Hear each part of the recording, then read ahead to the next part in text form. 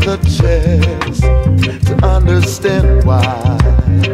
they always try to keep me down and let the